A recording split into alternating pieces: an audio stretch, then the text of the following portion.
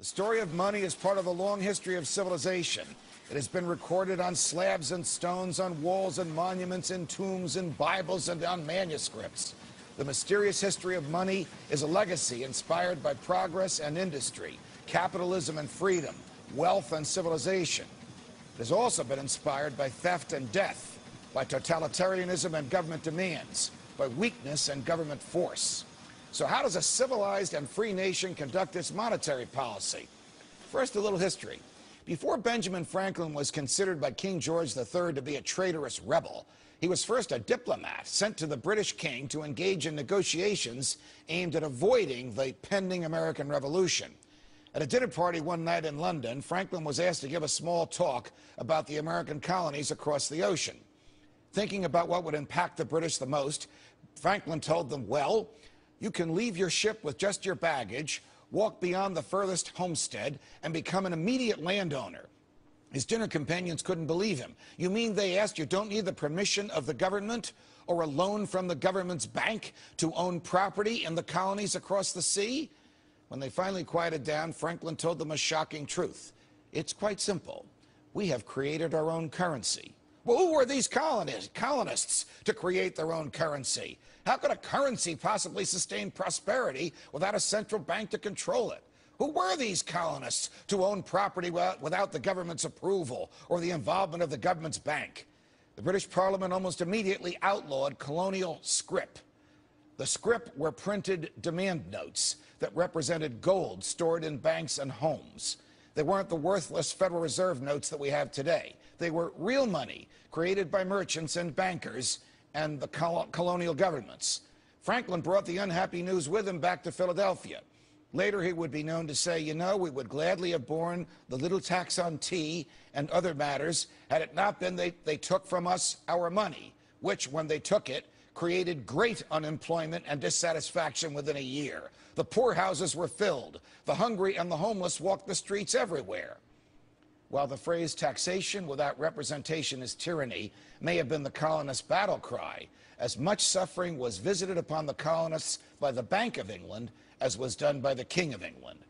So you see, one of the founders of the United States of America had no difficulty whatsoever identifying the root cause of misery in the colonies central banks controlling money. But Americans today know precious little about money and how it is used against us. You hear me speak often on Freedom Watch about debt and taxes, about gold and the Federal Reserve. Here's a little Economics 101. The topics dealing with issues of taxing and spending are what's known as fiscal policy. And the topics dealing with issues of inflation, the Fed, and the creation of money itself are what's known as monetary policy. Monetary policy is about how money is created, and fiscal policy, fiscal policy is where it's destroyed by the government. It's not enough that Congress and the government destroy the fruits of our labors and consume them with wasteful spending and thieving taxation.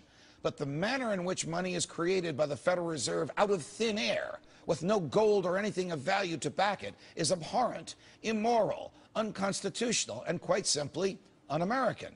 If you or I printed cash in our basements and used it in voluntary transactions, we'd go to jail.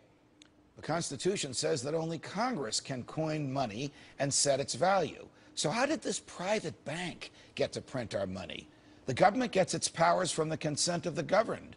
We didn't give that power to a private bank. In America today, we have a private central bank with the monopoly power of printing money. It is an unelected, secretive, and dangerous institution that manipulate, manipulates the economy by destroying the purchasing power of those who work and save and transferring it to those who kill and steal, tax and destroy. What is it? You know, it's the Federal Reserve. Twice before, we had national banks that were abolished by Congress. But the creature from Jekyll Island, that's the place off the coast of Georgia where the Federal Reserve was hatched, lives on today, risen from the grave, and now intent on devaluing our future and keeping Americans in the dark about the truth of where their money comes from. Don't let any fancy talk from the New York Times or the liberal media or Treasury Secretary Geithner fool you. The federal government, that would be you and me, the American taxpayer, borrows money from the Federal Reserve and must repay that money with interest. Before the Fed, before the Fed existed, the Treasury directly circulated currency backed by gold.